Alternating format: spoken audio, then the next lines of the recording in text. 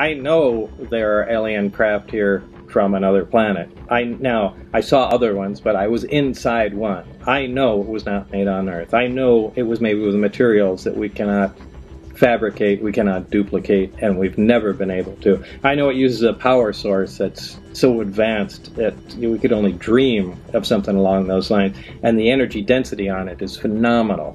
I also know that there's lots of nonsense information that has gone around. Look, disinformation is the most powerful way to distort facts. You just throw a bunch of useless stuff out there, and they just take the real facts along with the nonsense and bundle it together and say, well, this is just impossible, and, you know, there, your security is maintained.